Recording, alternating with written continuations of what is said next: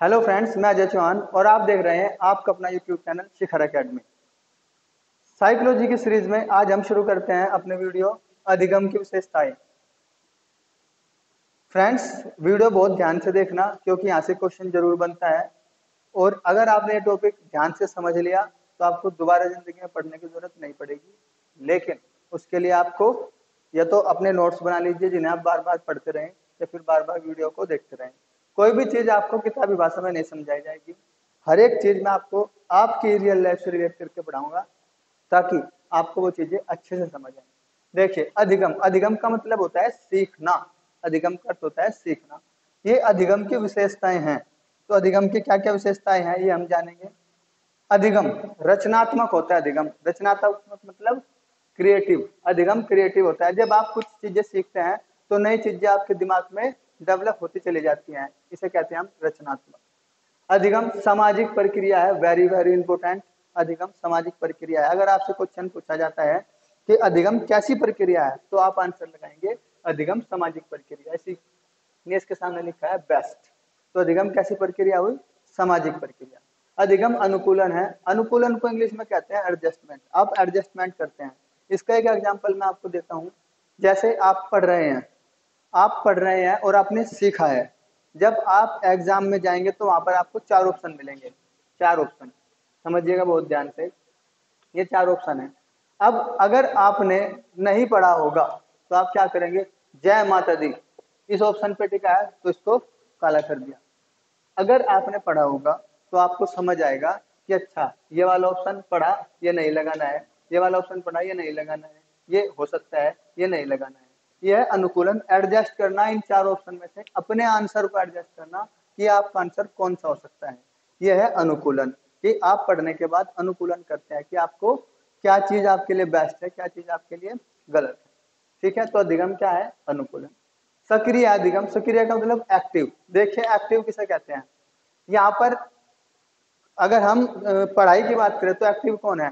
जिसका ध्यान क्लास में है। यानी कि आप क्लास में है और आपका ध्यान क्लास में है। यानी कि आप फिजिकली और मेंटली दोनों रूप से आप क्लास में है तो इसका मतलब क्या है? आप एक्टिव है, यानी कि आप सक्रिय हैं। अगर आप बैठे तो क्लास में है, लेकिन सोच रहे हैं कहीं और बाहर का हाँ वहाँ ऐसा हुआ था, कल मैं शादी में गया था, यार, कल मेरी उससे लड़ाई बच गई, बस।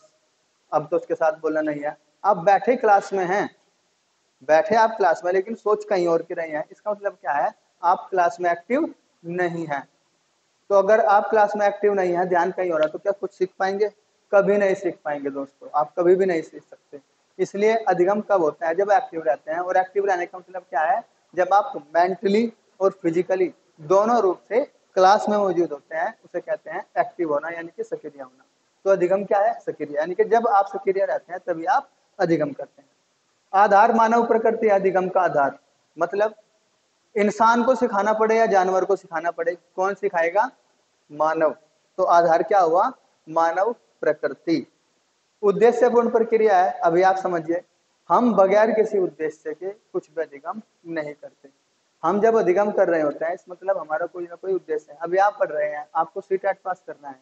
तो तभी तो सीख रहे हैं ना? तो आपका क्या है? उद्देश्य सी टेट पास करना। इसलिए आप सीख रहे हैं। आप बी करने के बाद टीचर बनना चाहते हैं, इसलिए आप सारी वो चीज़ें पढ़ते हैं जो टीचिंग से संबंधित होती है। आप बी करने के बाद कभी इंजीनियरिंग पढ़ते हैं? नहीं पढ़ते हैं। अगर पढ़ेंगे भी तो आपका मन नहीं लगेगा वहाँ पर। तो इसलिए क्या दिगम उद्देश्यपूर्ण प्रक्रिया है। आप कुछ भी सीखते हैं तो उसको कोई उद्देश्य होता है।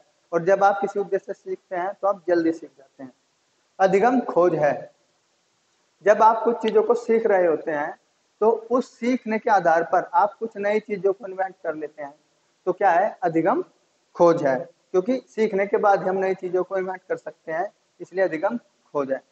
विवेक पूर्ण प्रक्रिया है। देखिए दोस्तों, यहाँ पर दो चीज़ें आती हैं। एक है विवेक, एक है बुद्धि। इनमें बहुत थोड़ा सा अंतर होता है, विवेक और बुद्धि में। आप कुछ भी करेंगे, बुद्धि। कुछ भी कर रहे हैं आप, उसमें आप दिमाग का यूज़ करते हैं, बुद्धि। लेकिन आप, ऐसा कोई काम करें जिसमें आपको ये लगे कि ये मुझे करना है या फिर ये मुझे नहीं करना है यह है विवेक। आप कोई भी काम करेंगे, बुद्धि है, लेकिन आपको क्या करना है, क्या नहीं करना है, ये आपका विवेक है। तो बस ये क्या है? अधिगम विवेक पूर्ण प्रक्रिया है। यानी कि आपके अंदर विवेक होगा, तभी आप सीख पाएँगे। यानी कि आपको अगर ये पता होगा कि मैं क्यों सीख रहा हूँ, क्यों क्या मेरा मतलब है इसका सीखने का क्या मुझे ये आगे चल के मेरे काम आएगा, क्या नहीं आएगा? यही सोचकर सीखना क्या है? विवेक। तो फ्रेंड्स आशा करता हूँ कि आपको ये टॉपिक अच्छे से समझ आया होगा। अगर कोई चीज़ें छूट गई है, आपसे आपको नहीं समझ आया तो आप वीडियो दोबारा देख सकते हैं।